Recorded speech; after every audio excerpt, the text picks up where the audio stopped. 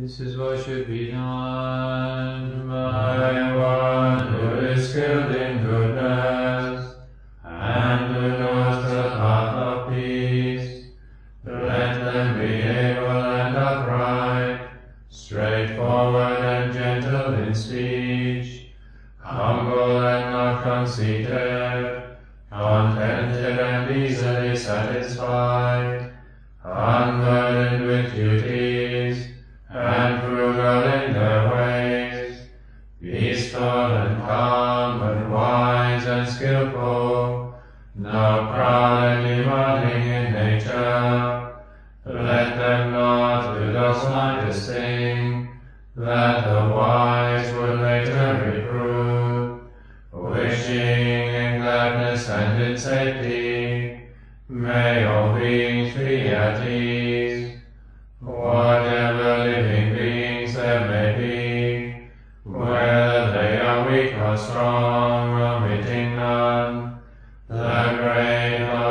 or the mighty, medium, short or small, the seen and the unseen, those living near and far away, those born and to be born, may all beings be at ease.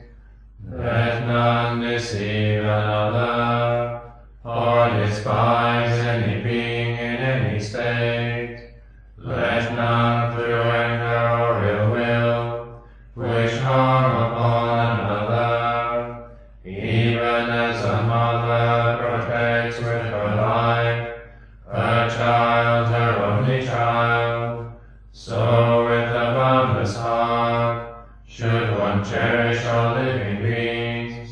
radiating kindness over the entire world,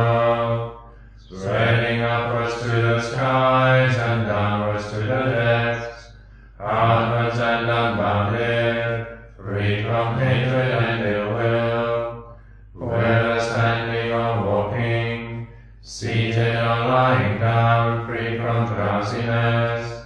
one should sustain this recollection. This is said to be the sublime abiding, by not holding to fixed views, the pure-hearted one, having clarity of vision, being freed from all sense desires, is not all